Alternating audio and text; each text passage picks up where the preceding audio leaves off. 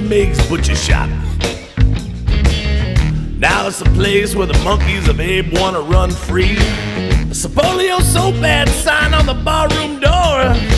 It's quite an entrance to a menagerie of oddities. Abe Warner's Cobweb Palace is a place to get drunk on two-bit Spanish wine. Maybe rum and gum or English ale is more your taste. Time. It's bad luck to disco with the spiders. Says Warner of his museum slash saloon. An educated pig plays cards in the corner with a spectacled bear and a pocket kangaroo. Abe Warner's Cobweb Palace.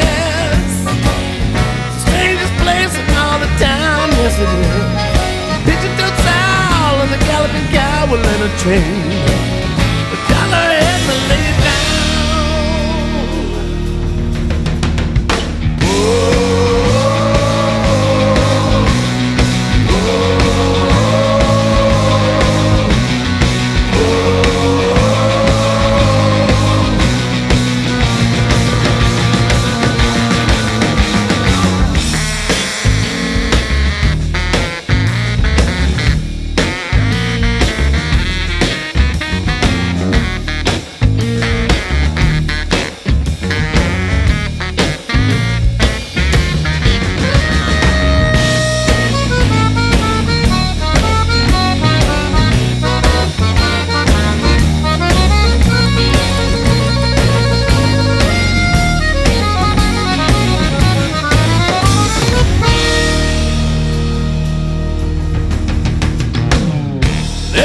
Olaf the No Neck at the end of the bar.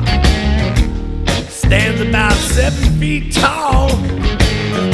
Drink a gallon of whiskey in one sitting with no ill effects at all.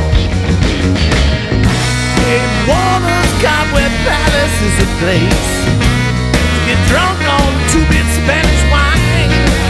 Or maybe rum and gum or English ale is more your taste. Anyway, it's a spot to lose your mind.